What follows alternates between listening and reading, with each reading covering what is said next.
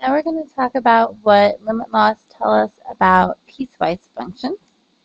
So recall a piecewise function is a function broken into two parts where you might have, or maybe even more parts than two parts, where you have different rules for different parts of the function. So here we are using 4 minus x squared when x is less than or equal to 2, and x minus 1 if x is greater than 2. But the question is, how do we do something like take the limit as x goes to 2 for this function? Well, none of our limit laws that we have so far directly address this. So we have a theorem about right and left side limits. Remember the right-sided limit, um, we have a picture of our graph here. If we're trying to take the limit right here, if we're talking about from the left side, then we're talking about just looking at numbers less than it. They're coming like this. And if we're talking about the right side, we're talking about just looking at numbers that are a little bit bigger than our point, or like this second arrow here.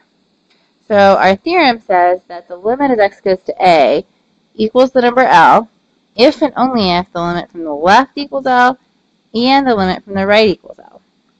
And what this means is if the limit as x approaches a from the right does not equal the limit as x approaches a from the left, then our answer to our general limit is going to be does not exist. Part A, find the left and right-sided limits at 2. So the only way we can actually find a limit at a place where a piecewise function breaks is to look at it from the left side and the right side.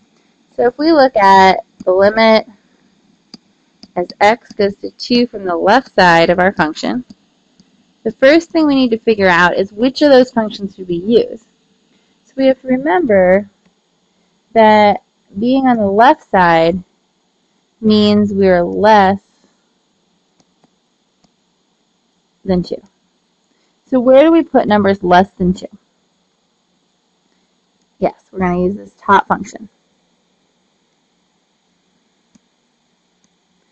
Alright, so we're going to be taking the limit as x goes to 2 from the left side of 4 minus x squared. And now that we don't have a piecewise function, we're just looking at 4 minus x squared, we can use our limit laws on 4 minus x squared just as we have been doing for regular limits, even though it's a left-sided limit. The subtraction rule, I guess, here is the difference rule. Limit as x goes to 2 from the left of 4 minus the limit as x goes to 2 from the left of x squared. And now the limit as x goes to 2 from the left of 4, that's a constant function, so we know that's 4. And the limit as x goes to 2 from the left of x squared, that's a power function, so we can bring the limit inside. So we have the limit as x goes to 2 from the left of x, the whole thing squared. Now we know the limit of the function y equals x. So we have 4 minus, the answer to that limit is 2, and then it's being squared. So 4 minus 4, or 0, is the limit as x goes to 2 from the left of our function f of x. So now we need to find the limit as x goes to 2 from the right.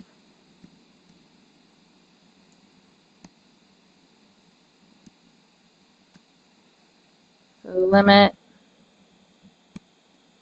as x goes to 2 from the right side for our function. Now we're looking for numbers that are bigger than 2. So where do we put numbers bigger than 2? The bottom function here, x minus 1. So we're using the limit as x goes to 2 from the right of x minus 1. And again, we'll use our limit of differences rule. So we'll have the limit as x goes to 2 from the right of x minus the limit as x goes to 2 from the right of 1. And each of those are limits that we know. The limit of the function x just gives us our x value back, so we get 2, minus the limit as x goes to 2 from the right of 1. That's a constant function, so we just get 1. So 2 minus 1 gives us 1. But now we have a problem because 0 is not the same as 1. So what does that mean? That means that the limit as x goes to 2 of our function does not exist because we got different answers coming from both sides. If we were to now graph this function, when x is less than or equal to 2, we have 4 minus x squared, so that's an upside down parabola. We figured out that at 2, that's going to be 0, and it's a filled in dot because it's also true when it's equal to 2. And when it is 0, it's 4, and it looks something like this.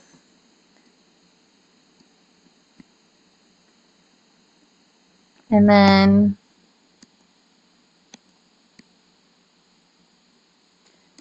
when x is bigger than 2, it's a line. It's x minus 1. So at 2 it should have a value of 1. It has a slope of 1, but it's an open dot here because